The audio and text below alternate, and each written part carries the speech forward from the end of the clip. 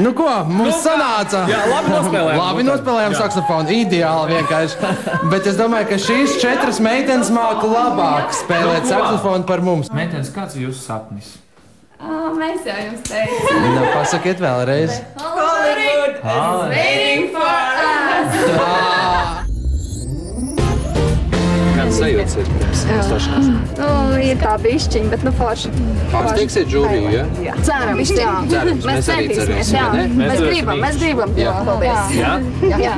Uz priekšu, jums mēs Paldies. atlasē patīk. Lai veicās. Paldies. Re, kur ņem, tur man vajag. Ej, visu. Aiziet. Iet, iet.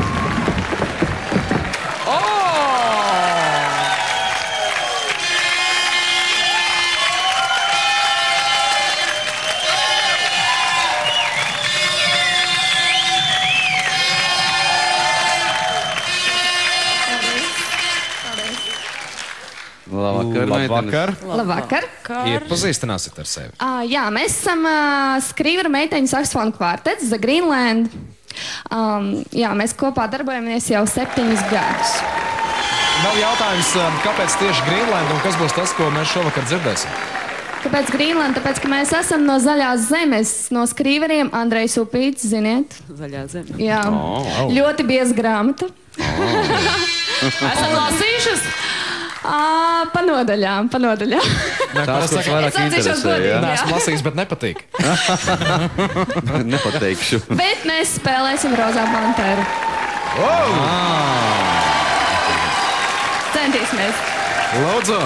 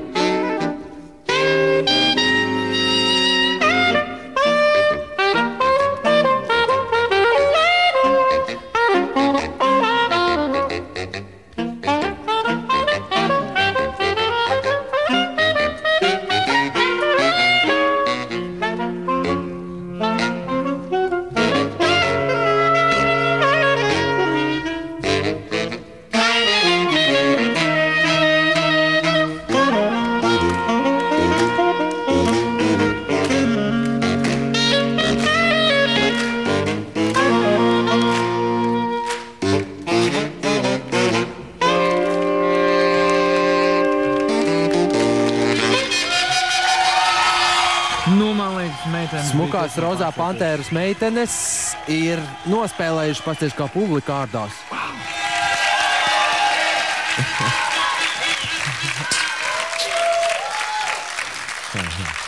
Meitenes ir profesionāls, jūs arī eh, ikdienā spēlējat šos instrumentus pareizi, taču, vai ne?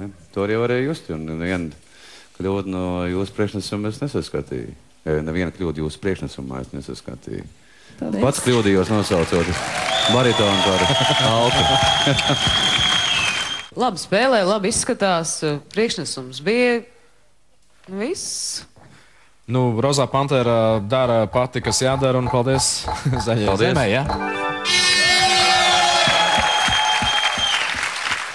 Tieši tā, bet kādreiz, ja gadās, mēģiniet tomēr izlasīt līdz beigām. Tas jau vajadzēs. Ja kas? Ja vajadzēs. Ja kas? Neredzu iemeslu jūs neredzēt kopējā sarakstā, kad nosauksim divus.